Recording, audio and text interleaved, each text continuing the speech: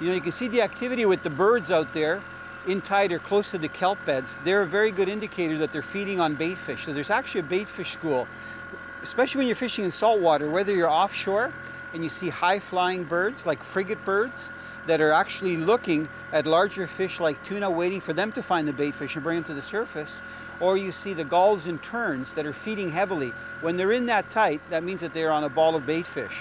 So that's a very good indicator, even though we're in a little bit deeper water, because there's a likely chance that we've got bait fish also out here. And of course, if there's bait fish, you have different species of salmon, and we're running the right rigs, so we're probably going to intercept some.